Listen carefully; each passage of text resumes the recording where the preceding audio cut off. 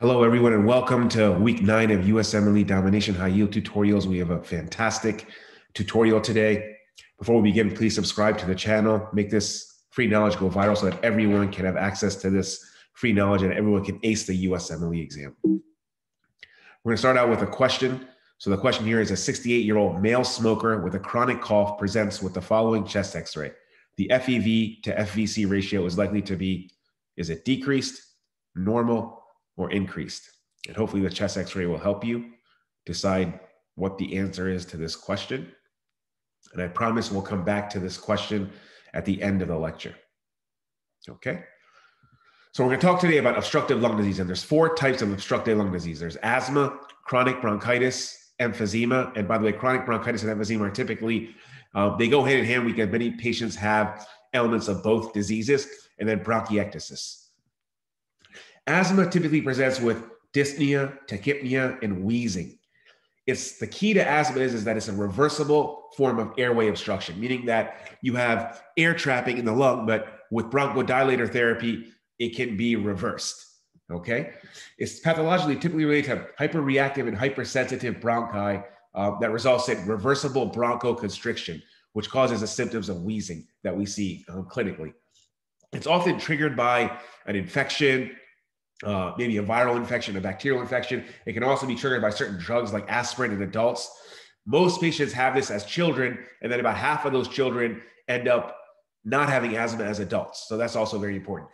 The imaging features of asthma are very non-specific. There's nothing that's very specific about the imaging characteristics, but you typically see air trapping and obstruction on imaging. And what we see here is we have a CT image through the chest, and there's these hazy opacities this represents ground glass attenuation or mosaicism that reflects air trapping or small airway disease. And notice that some of these airways here see these linear, lucid, you know, or, or hypodense areas with, you know, with the walls that are thickened. These are bronchial walls that have been thickened. So there's bronchial wall thickening here. So you have airway thickening with hazy opacity or mosaicism or, you know, small airway disease. That's representative of asthma or what asthma can look like on a CT examination. So nothing very specific.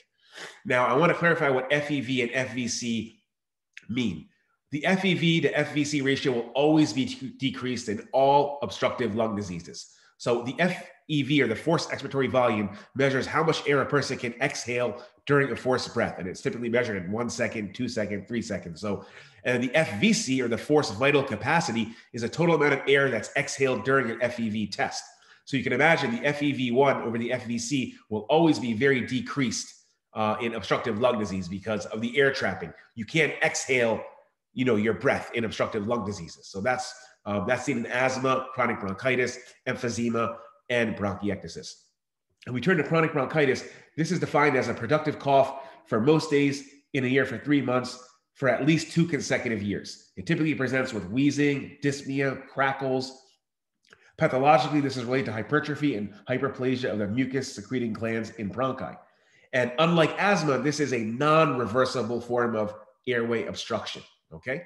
And again, the, the x ray findings are you know, not very characteristic. They're non-specific, but what you can see is on this X-rays, you can see peribronchial cuffing, similar to what we saw in the CT, where we see airways with thickening of the airways. You can see these, you know, kind of tram track lines, you know, these dense, hyper dense lines around these, you know, radiolucent airway airways. These are airways that have been thickened, thickening here, there, there, there, there. You see all these airways that you can see the walls. You shouldn't normally see the walls of that thick on an X-ray, but the fact that we can see, you know, these thick linear lines that represent the walls of the airways of the bronchi, this suggests that there's evidence of chronic bronchitis, or actually suggests airway obstruction or air trapping. And in this case, this patient had chronic bronchitis. So again, the imaging findings aren't that helpful or specific, uh, but they can they can help you decipher that there's this, there's an element of airway obstruction here.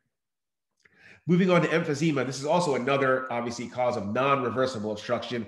This can present with dyspnea and a chronic cough. Um, emphysema is when you have permanent dilation of air spaces that are distal to the terminal bronchiole. So we're talking about the respiratory bronchioles, the alveoli, and you get destruction of the air spaces. You can have centroacinar and panacinar emphysema.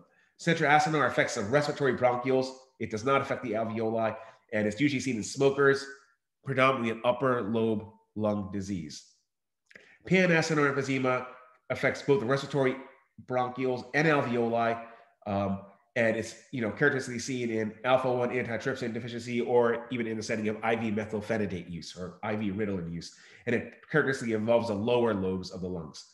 And what you see on x-ray is you see hyperinflation. Notice that if you count, look how inflated this lung is. If you count the amount of ribs push your ribs, you can count one, two, three, four, five, six, seven, eight, nine, 10, 11, 11 and a half. You should only be able to count 10 normally.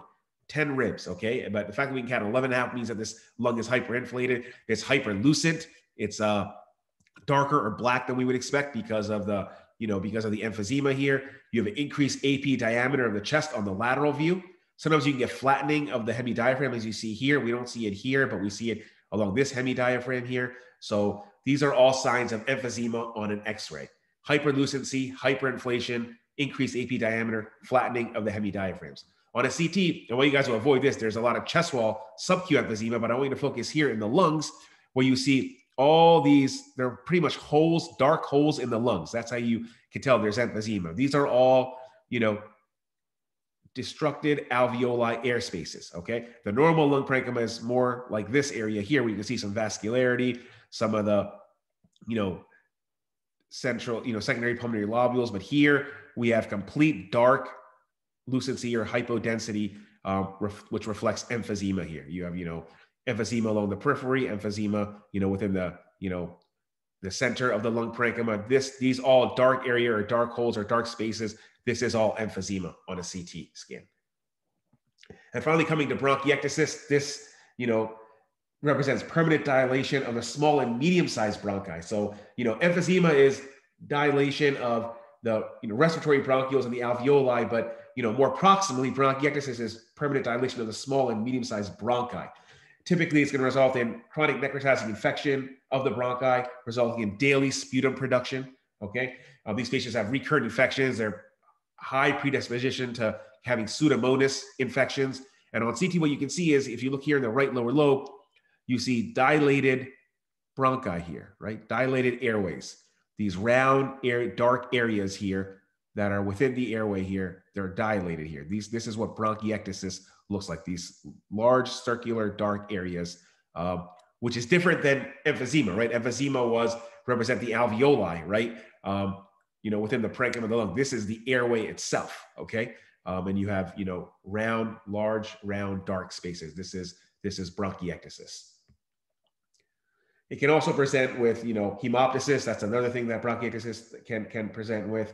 Um, it has some associations that we're going to get to in a second. So the USMLE must know points here are there's four types of obstructive lung disease. With asthma, you're looking for reversible airway obstruction, wheezing.